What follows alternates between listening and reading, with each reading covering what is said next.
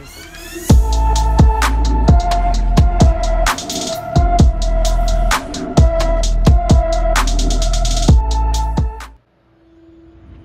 kill a snake, you cut off its head. Or in the Yakuza's case, its heads. Kenshi said I couldn't do it. But he didn't know what I knew, that the family's bosses were meeting to talk shop and settle disputes. In one fell swoop, I could decapitate them all. As I nursed whiskey and negotiated, I waited. My moment came, then was cut short when a fiery portal opened. Out of it stepped men I'd never seen before.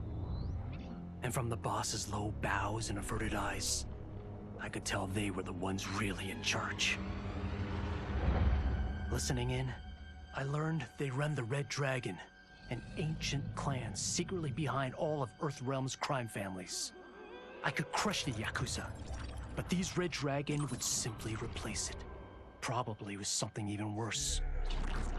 I'm facing a powerful new enemy in my war on the underworld. One I never saw coming. And I've got to finish them. Or die trying.